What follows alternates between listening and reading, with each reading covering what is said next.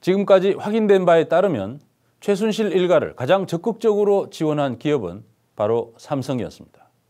삼성은 미르와 K스포츠 재단에 가장 많은 돈을 낸 것 외에도 최순실 일가에 100억 원 가까운 자금을 추가로 보냈고 최 씨의 딸 정유라 씨에게 말을 사주기도 했습니다.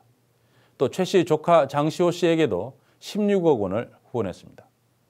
그러나 삼성은 지금까지 자신들도 피해자였다는 주장을 해왔습니다. 그런데 뉴스타파가 최근 삼성과 장시호 씨의 영재센터가 맺은 후원 계약서를 입수해 분석한 결과 단순히 돈을 뜯긴 피해자라고 보기 힘든 내용이 나왔습니다.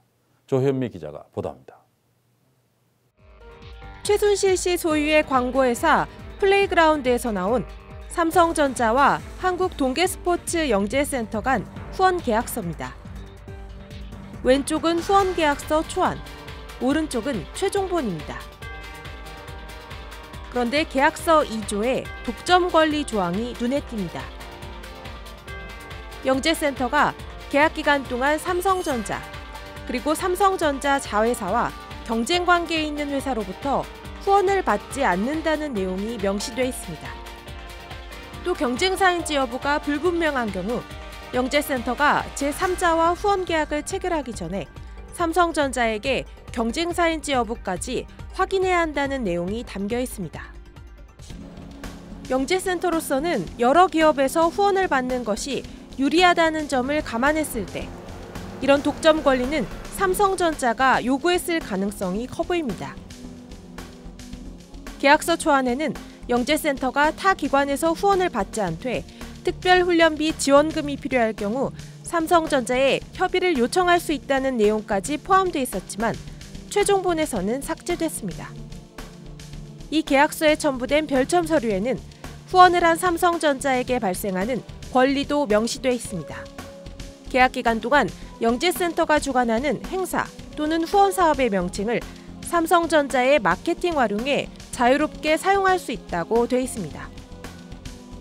특히 영재센터의 올림픽 메달리스트 이 사진을 삼성전자 행사에 추가 비용 없이 초청할 수도 있고 이들이 삼성전자 홍보 활동에 적극 참여해야 한다는 내용도 있습니다. 그런데 한 가지 이상한 점이 눈에 띕니다.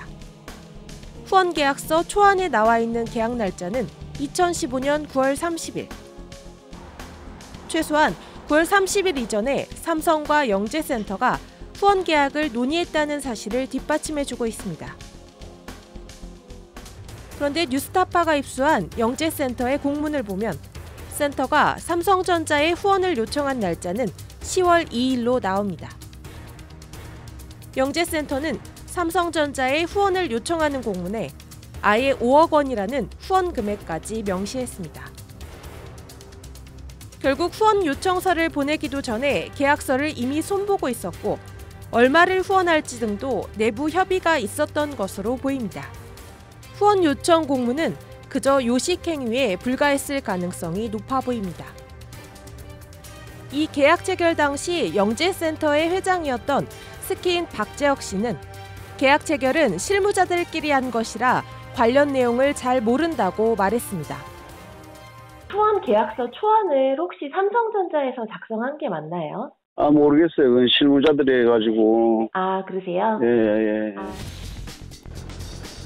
삼성전자 측에도 계약서 작성 시기가 정확히 언제인지 물었지만 검찰 수사 중인 사안으로 코멘트하기에 적절하지 않다는 답변을 해왔습니다. 이런 행태는 미르재단과 K스포츠재단이 설립될 때도 있던 일입니다. 미르재단과 K스포츠재단은 창립총회를 개최하지도 않고 개최한 것처럼 회의록을 허위로 작성해 설립허가 서류로 제출한 바 있습니다. 문체부에 설립 허가를 요청한 지 하루 만에 설립 인가가 나오기도 했습니다.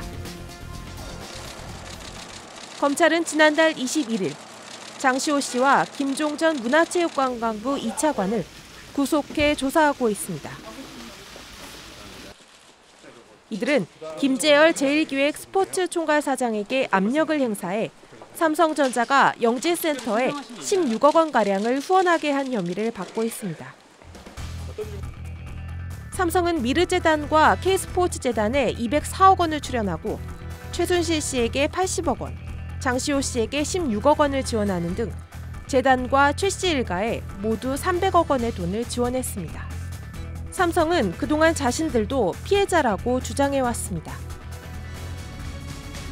하지만 삼성전자가 영재센터를 후원하면서 독점 권리를 요구했다는 정황이 드러난 만큼 삼성이 최순실 일가가 비선실세임을 확인하고 선제적인 후원을 통해 이들을 활용했다는 의혹에 대해서 철저한 조사가 필요해 보입니다.